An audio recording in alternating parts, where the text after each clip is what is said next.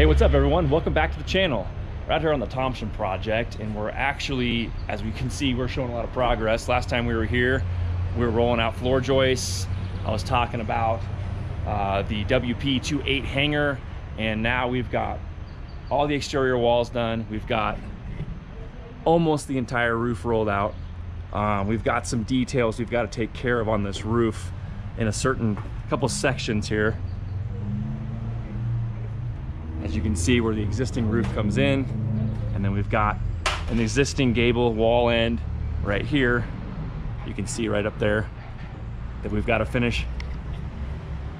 We got to finish blocking that out, run crickets, and then we have to actually start sheathing. We're trying to go like mad here. Um, we've got some really interesting weather coming in the next couple, three, four days. Uh, it's gonna get really, really wet and really, really cold. I'm talking about like, this is the end of June and we're talking about 60 degree temperatures, maybe even in the 50s. Um, so we went from really warm to really cold here in a hurry. So we're gonna try and get this rest of these uh, rafter tail ends finished, um, finish up all the details to tie into the existing roof, and then we're gonna start throwing up sheathing on the walls and the roof and start drying this thing in so we can try and stay ahead of the weather as best we can. Mother Nature is always a lot of fun to do business with, especially in the summertime. So um, take you through here real quick. You can see the rest of the demo is pretty much complete. Um, it's kind of a mess. That's how it is when we're trying to do two things at once or more. We got cabinets in here. Um, all of this is the existing home. This was actually the addition I was talking about last time we were here that was done, I think early 90s. Again, we ended up ripping all the sheetrock out of here so we can upgrade um, all of our thermal and energy efficient values. R values go up and we can do this we can get back in and do a combination of more batt and some closed cell spray foam as well. Um, we're getting closer on finishing demo in these rooms. You kind of kind of stagger things because we have to have space to work and store stuff as well too. But we're getting really close on all that. Um, obviously, the main priority right now is finishing up all of our roof tie-in and starting to sheathe this thing so we can start drying it in. We're using our zip system product for roof and walls. Um, that's a great product like I've been talking about. It's got a built-in WRB. And once it goes up, we just run the zip tape for all of our seams, fill our nail holes, and we are actually watertight at that point once everything is done. Take you in here. So this is gonna be the future master bathroom and closet walk-in area right through here. And then we'll push out into the master bedroom here. then we've got a giant double door with side lights going in right here as well. Back of this house, on this side,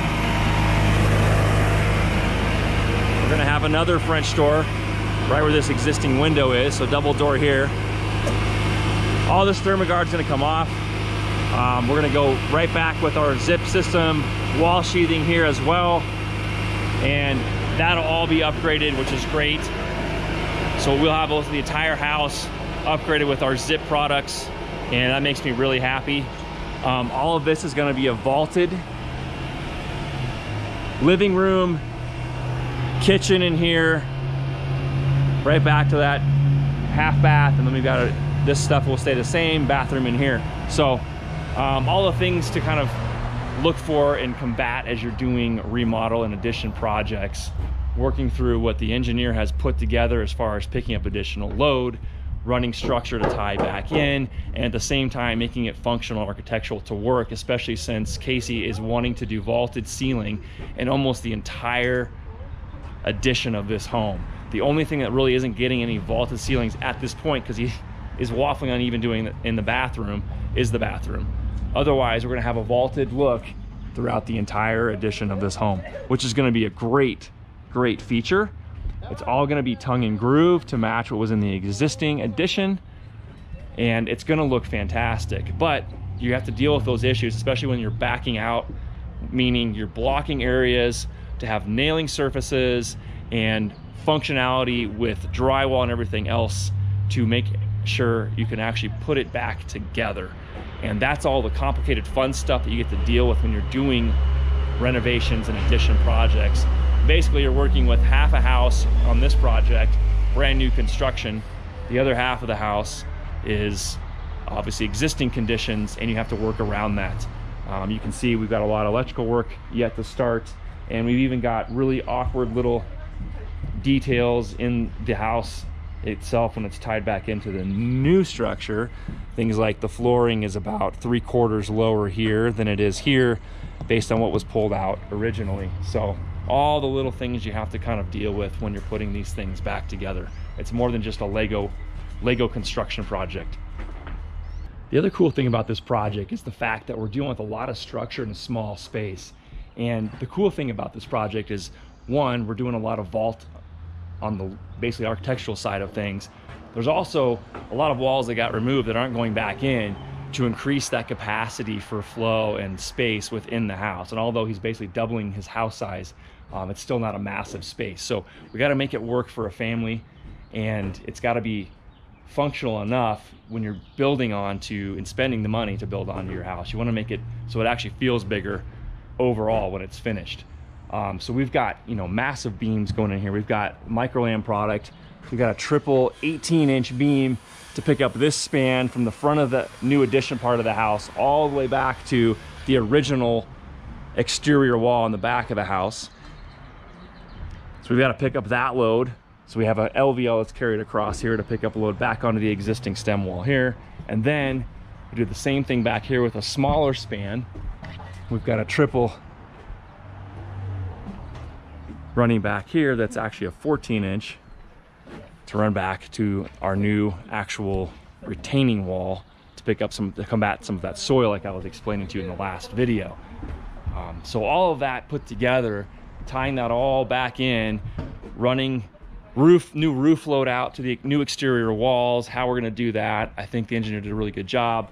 This was the existing exterior of the uh, south wall of the house here. So we've got another 14 inch going in here. Pick up all that load. So there's a lot of open spans that we had to run and, and figure out how to make that work. One it's got to be obviously structurally sound. So that's step one. And then from there you back out your ideas on how that's going to finish.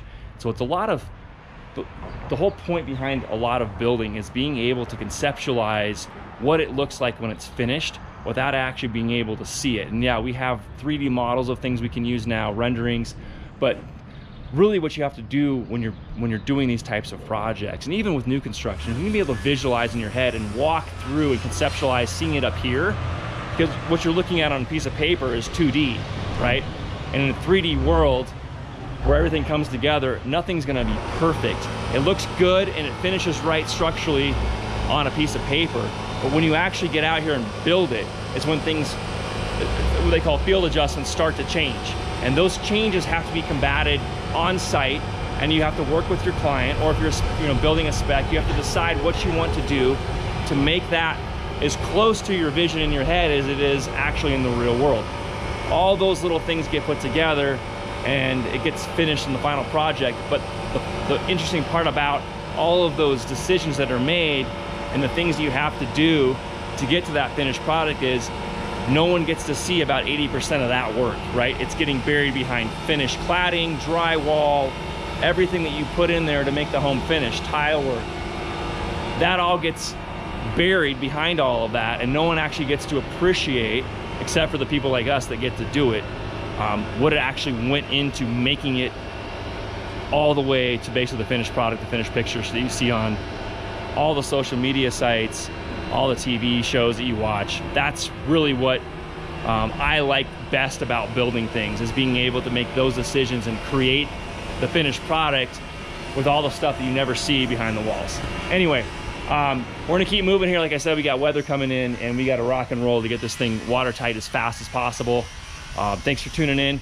Make sure you guys, if you haven't, find that red button, hit subscribe. I really would appreciate if you could do that. If you like this video, hit that thumbs up because I'm going to keep pumping out the, the Thompson project as we roll along.